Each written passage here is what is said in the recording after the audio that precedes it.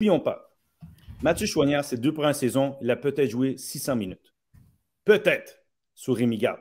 Lui, là, il est en retard dans sa, dans sa progression parce que jouer les jeunes, faut, ça prend du temps. Là, on a un directeur sportif qui, qui a mis une, politique qui dit Hey, là, on fait jouer les jeunes.